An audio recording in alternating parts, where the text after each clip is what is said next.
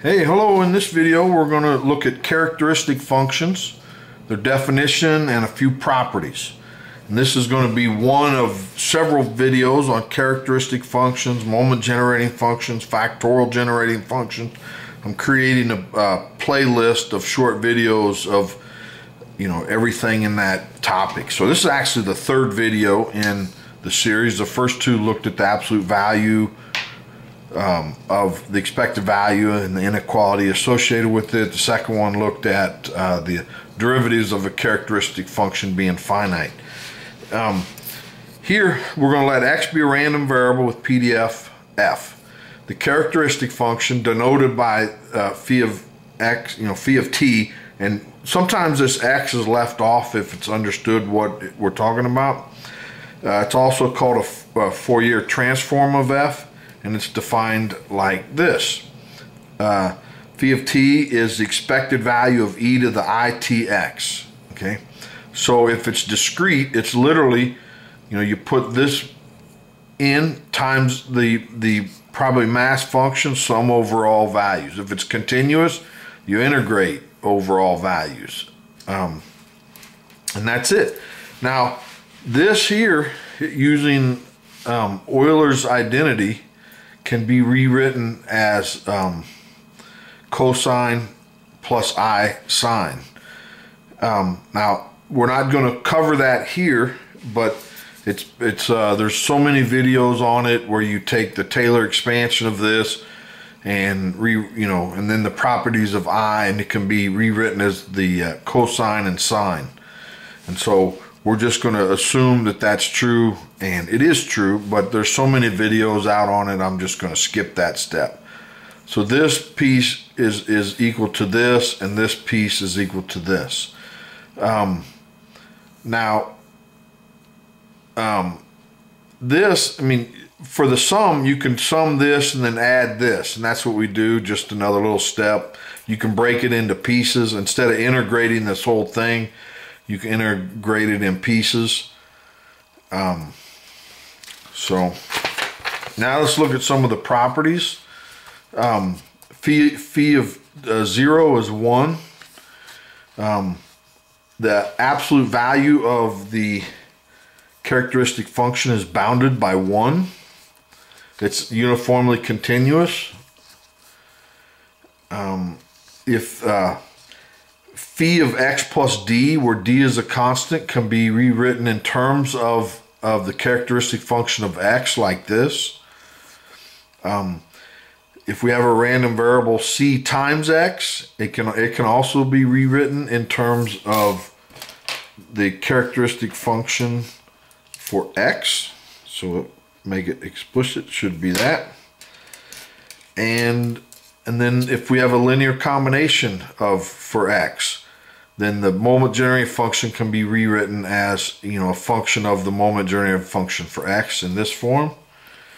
And the derivatives of this characteristic function evaluated at zero generate the moments of our random variable x. This is assuming that the nth moment is finite. And uh, I guess technically that should I should have it like this It's for all in. We're just going to go through these proofs. Um, some of them are simple, some are a little more complicated. Here, uh, point one, you plug in zero. That means put in zero for t. And e raised to zero is this, and that's one. Inspect value one is one.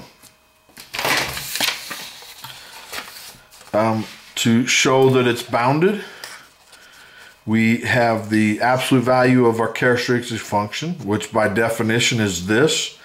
And in my first video in this playlist, I showed that the, the absolute value of the expectation is less than the expected value of it, the absolute value. And so I have a video on showing that this inequality is always true.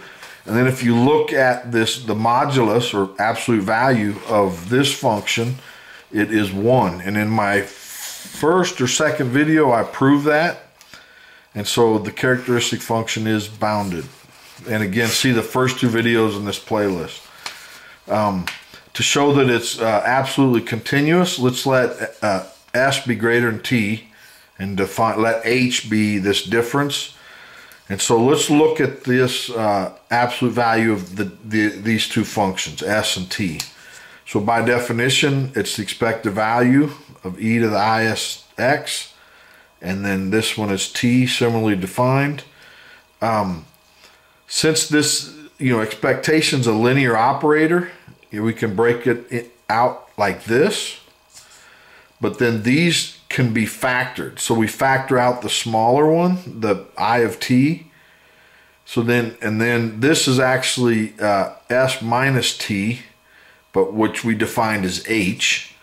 So when you multiply this back into it, you get this one again. So this is true. And then um, now it's the absolute value of the expected value, which is less than the expected value of the absolute value. So this is true. And then the modulus or accept, absolute value of a product is the product of the absolute values, but we showed that the uh, modulus of this is 1, so it goes away.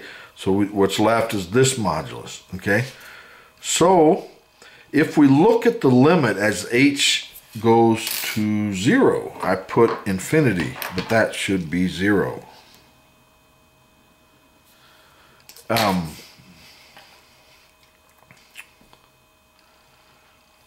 where am I? Oh, I did the wrong one. So this should be zero. Zero.